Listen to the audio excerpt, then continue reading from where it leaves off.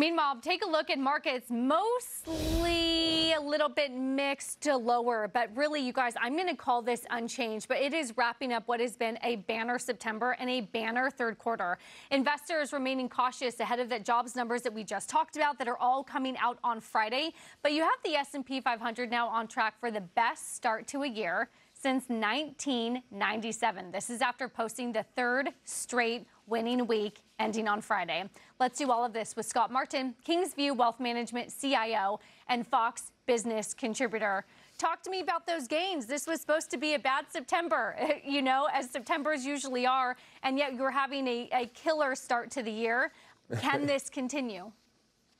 Yes, I think it can, Taylor. And you know what? It's funny how things don't work out always the way that we all planned, or at least that the experts uh, tell us they are, because you're right. We're, we're, we're, partying like it's 1997. And I think, Taylor, that's uh, for good reason. Uh, the economy, as I've always said, is better than most people think. I think the data has been a little bit wishy-washy, yes, but I think the underlying themes of the data has been largely allowed to uh, celebrate and support the stock prices. And frankly, even in spite of an election coming up, the, the economy, I believe, is as strong enough as, as such to where investors and market participants are allowing themselves the, the thought that, you know what, even as great as the economy is, even Kamala Harris probably can't screw it up. So I think we've got a lot of things to be positive about. But again, you guys know my take. I'm worried that the Fed made a pretty big policy mistake here just a couple weeks ago, and I'm worried about how that could come down the pike as far as more inflation. So, Scott, talk to me about interest rates a little bit because they made the cut but you know, you look at market interest rates have not come down the way that you thought they might. Is that the story you're telling me that hey, the market thinks we're going to get a strong economy no matter who ends up in the White House?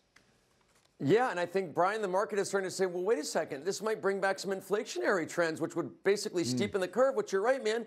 If you look at when we went into the Fed meeting, uh, the rates pretty, rates fell pretty pretty well. I mean, they felt they plummeted pretty pretty precisely, and then after the meeting, rates bounced up, and they've come leveled off a little bit, but they've come up again today, as we've seen. So the market seems to be telling a little bit of a different story. So I think that should tell the Fed, or at least have the Fed take some pause. I mean, Neil Cavuto had Austin Goolsbee on uh, last hour, and he's kind of mushy when it comes to, if I could say that about him, when it comes to what they're going to do. And I think they kind of realize that maybe they overstepped here this time, and therefore they don't want to get the market so addicted to more rate cuts in the future, especially if, as you guys just said with uh, Joe Lavorgna, if the market is expecting what, a 3% plus GDP number for right. Q3 it's starting to become more obvious to me why they gave the market the cut that they did. I don't think they're as stupid as uh, people like to give them credit for, Scott. But let's move on from that and talk about what you can buy when we're at record levels. It's tough to want to get in. What are the bargains out there?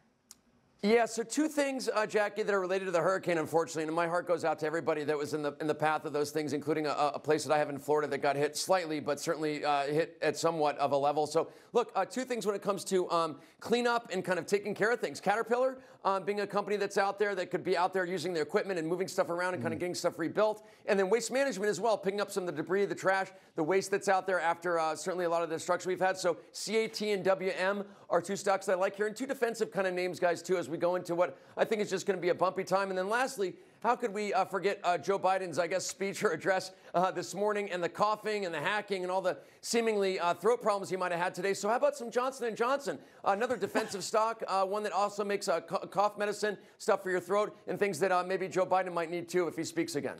Oh. But we're all going to need Martin. it. We're all going to need it this fall, Scott, because you know how it is. I'm telling you. So it's it's his the season. He's just a little bit ahead of us as usual. Well, plus when you're cheering for the Vikings loudly, sometimes you oh, get a hoarse on. throat. And did you know, somebody say four and oh. zero, oh, Brian? That's right. Thank you, Scott. Scott, I wore a purple suit today yeah, by accident, and Brian can't stop trolling me every time.